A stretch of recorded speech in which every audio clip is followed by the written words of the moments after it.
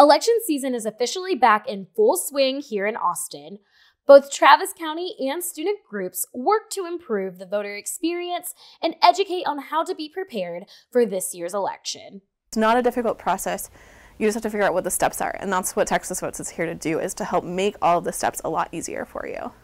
This election implements Travis County's new voting technology to make it easier to vote and keep record of them. This is the first time we've been able to offer voters a paper trail, and it is very warmly received, and voters have been waiting for it for almost 15 years. We could not find a company to manufacture a paper trail, and now it's finally here Students can come to the Flawn Academic Center to cast a ballot for this year's local election with a form of identification that is approved by the state of Texas for this year's upcoming election.